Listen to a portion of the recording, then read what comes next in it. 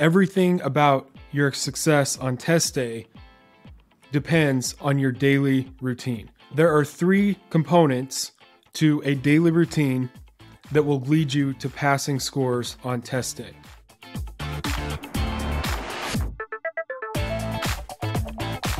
So, in this video, I want to describe how you can pass your CPA exams in 2023, make this process very doable without it becoming an all consuming nightmare that takes over your life so that you can avoid having to go through the big changes on the 2024 version of the CPA exam. Now, if you've watched any of our other videos or you listen to our podcast, you hear me talk constantly about your daily routine. Everything about your success on test day depends on your daily routine. What do you do on a daily basis for the weeks and months leading up to each exam. So there are three components or three aspects to a daily routine that will lead you to passing scores on test day. First, your daily routine needs to be consistent and doable. Those are kind of interchangeable. If you're not consistent, if you don't consistently study every day as the weeks go by, it doesn't matter what review course you have. It doesn't matter that you're using the most effective strategies. It doesn't matter how smart you are. Nothing matters if you're not consistently studying and putting in the time. The second component of your daily study routine is that it needs to be effective. So the sad thing is, it's very possible to have component number one someone who's very dedicated, consistent. You put in a lot of time and effort over weeks or even months or even years. You know, I've talked to a lot of people that have spent years trying these exams and, you know, not getting passing scores. It's very possible to put in a ton of time. And if what you do when you sit down to study just isn't connecting the dots between your brain and the material as far as it relates to on test day, it's very possible to put in tons of time and effort and still not pass these exams. So when you sit down to study, what you actually do needs to be effective enough that it leads to a passing score on exam day. And of course, that sounds really obvious, but we also know that the, the pass rates are barely above 50% on any given section of the CPA exams. The third thing that your daily process needs to have is it needs to have a retention component. So, again, you can be dedicated, put in a lot of time and effort. You can be really effective when you do cover each lesson. But if when you get to exam day, six or eight weeks later, you just can't remember, you know, more than 30% of the material, you will get a failing score and all that time and effort doesn't matter. All right, so now we'll go into the specifics of each of these three components and just describe how you make sure that your daily process has each of these three components. So, for the consistency component, most people are trying to study four or five hours a day. I mean, when you put in your test dates into your study planner in your review course, and you know, you say, okay, today's January 1st, and I want to take FAR by the end of February. So you're giving yourself, I don't know, six to 10 weeks, somewhere in there to study for your exam, it's going to spit back out that you need to study at least three, usually four or five hours a day. Now, the thing that most people don't realize until they get into this for a few weeks is that specifically if you're working full time, it is incredibly difficult the way that your life already is. I mean, whatever your life contains, to just throw in this extra thing that takes you four or five dedicated hours on top of the rest of your life every single day. For most people, that just doesn't happen unless you literally rearrange how your whole life works. And again, as you've probably found out, if you're trying to study four to five hours a day, that means you're putting in a huge amount of work. Well, if things go off the rails and you miss one or two days, then you're looking at eight to 12 hours just to catch up. So it's easy to see why somebody gets so overwhelmed and feels so behind when they miss even one or two days of study. So, the whole thing with Superfast CPA and what we teach our clients and customers is your main study session, especially just on work days, it only needs to be two hours a day. And you do that in the morning, and then you make up the rest of the time with what we call mini sessions. So instead of having to find four or five dedicated hours a day to sit in front of your review course, you only need to spend two hours a day in the morning with your review course, and then you would just study from your phone in small chunks throughout the rest of your day. And our big promise or our big claim is that by the time you're done with work each day, you can take the evenings completely off because you have studied for the four to five hours without having to find a dedicated four to five hour chunk all at one time. And obviously, finding two hours a day is much easier or half as hard as trying to find four to five hours a day. So it's just much easier to stay consistent and it's a much smaller uh, mental pill to swallow, so to speak. You know, you really have to gear yourself up to sit through four to five hours straight of CPA study. And when it just comes day after day after day after day for months on end, it pretty much means that your whole life is work, study, fall asleep, wake up, do the whole thing again for months on end. Your life becomes pretty miserable really fast when you're trying to study in four to five hour chunks all at one time every single day. It's just obviously so much easier to only have to do that for two hours a day. So, the next element that will solve so many problems is to just do this in the mornings. And I know that no one likes to wake up earlier than they already do, but it's a very small trade off for a huge benefit. You lock in your two hours in the morning, and then it's done. You don't have to worry about it. You don't have to dread it in the back of your mind all day while you're at work and just think, okay, I've got this huge project at work. And then when I do get off at seven tonight, I've got to grind until midnight just to study. You simply get up two hours earlier. And of course, you know, tweak your whole daily routine, cut yourself off at night from watching too much Netflix or whatever, whatever you do. Go to bed an hour or two earlier wake up an hour or two earlier. And everything aligns as long as you get into the habit. It makes your life so much easier. So, the next aspect is the mini sessions. So, our study tools are designed specifically for this purpose. So, we have three main study tools the audio notes, the review notes, and then our quizzes. So, everything about our study tools, they are based or they were created specifically for the idea of studying on the go. So, whether it's our audio notes or our review notes or our quizzes, everything is simplified. The questions or the examples in the notes use nice round numbers so that you never have to think about pulling out a calculator or scratch paper. And the idea is very simple. Instead of listening to music and podcasts while you drive or while you walk the dog, when you're doing dishes at home or preparing meals, you can be listening to the audios. So, yes, I understand that's doesn't sound super fun, but this idea of the mini sessions, if you just think about it, whatever your main study session, whatever that is, just by using study tools from your phone, audio notes, review notes, quizzes, whatever, replacing all your normal social media scrolling time throughout the day in these little 5 to 10 minute chunks you can easily add an extra two to three hours of study time each day, just as you go through your normal day.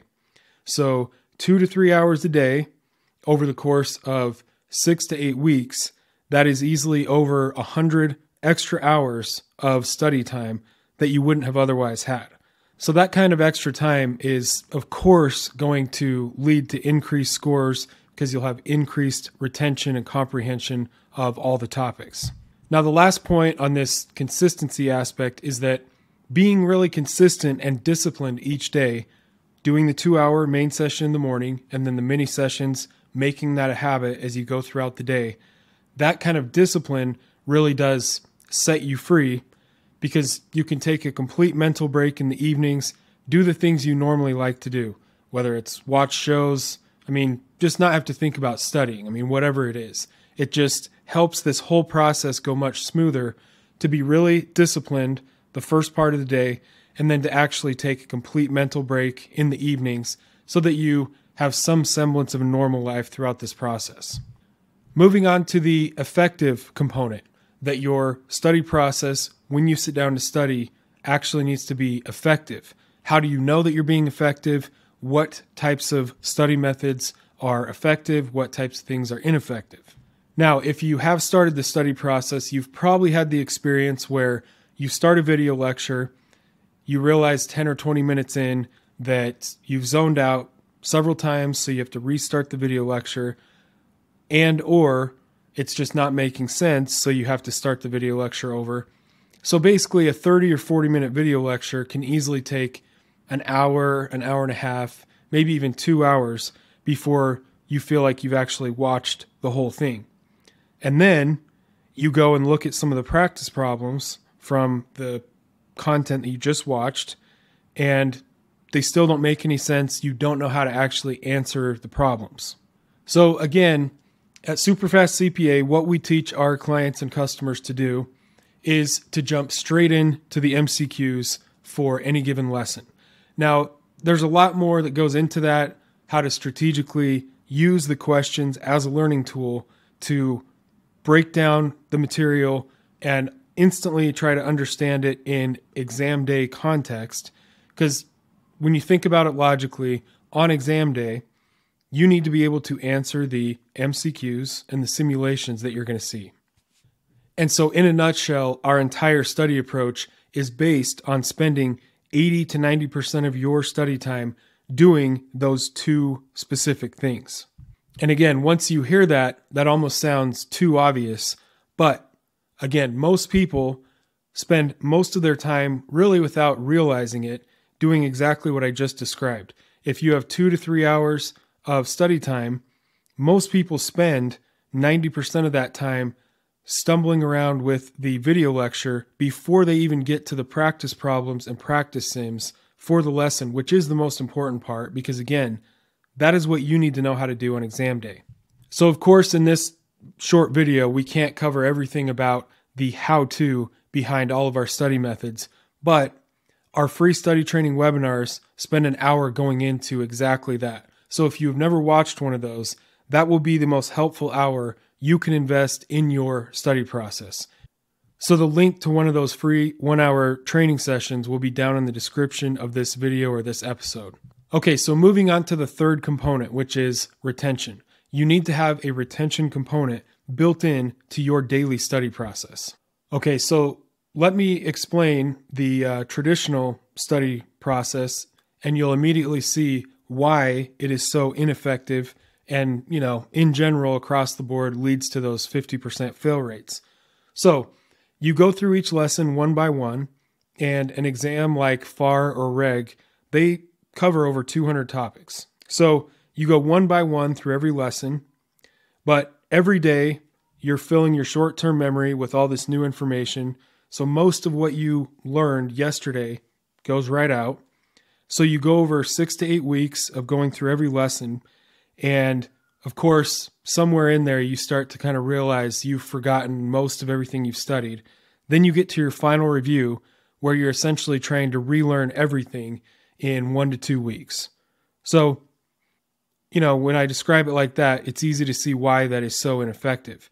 Now, what I'm talking about is simply spending a portion of your study time each day on re review every single day. So, all the material that you've been through, you spend a portion of each day of your study time re reviewing all that info so that as the days and the weeks go by, you're constantly, you're not just not forgetting everything, you're constantly improving on all topics. You're building your understanding and comprehension of all the material in layers as you go. And if you've never thought about it that way, I'm sure you're sitting there thinking right now, yeah, that makes a lot of sense because it does. It just makes logical sense to spend a portion of your study time constantly improving on everything you've studied previously so that by the time you get to exam day, you are peaking on all your retention of the material instead of trying to relearn everything in just one to two weeks in your final review, which of course you can't relearn everything effectively in that short of amount of time. Okay, so how do you build in that retention component? What do you actually do? So there's two ways. Now this is all covered in our free webinar that I mentioned earlier.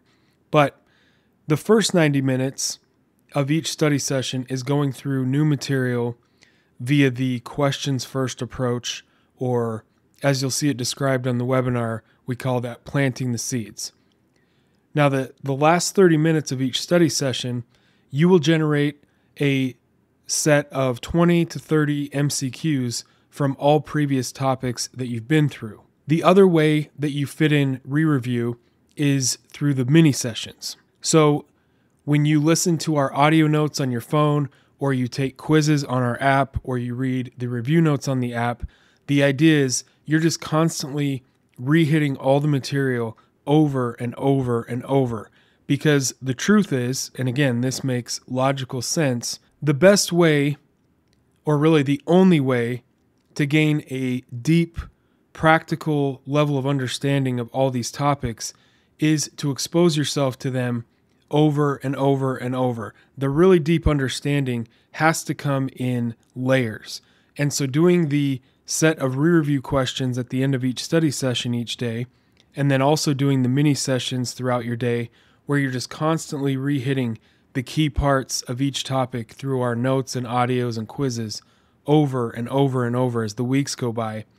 That just gives you a very solid level of retention and comprehension of all the topics. But like I said, if you want a deeper or a more comprehensive explanation of this, of how to do the retention component, that is covered in our free training webinars. So, to recap, your daily process needs to have three components it needs to be doable so that you are consistent, it needs to be effective so that what you're spending time on actually leads to passing scores on test day. And then it needs to have a retention component so that you don't get to test day and forget enough material that you fail, which means all that time and effort was a gigantic waste of time. Instead, you spend a portion of your study time each day on re review as the weeks go by so that you're constantly getting better at all the material you've covered. So, if you're watching this on YouTube, I would like you to go down to the comments and post at least one aha moment that you got from this video. If you found this video helpful, you know, do the normal stuff. Give it a like on YouTube, subscribe to either the podcast feed or the YouTube channel or both. Most of all, share this video or podcast in general with someone you know who's also working on their CPA exams because videos or episodes like these, but especially our interviews with successful CPA candidates, are the most helpful free resource available anywhere for people trying to figure out their own CPA study process. So thanks for watching or listening, and we'll see you on the next episode.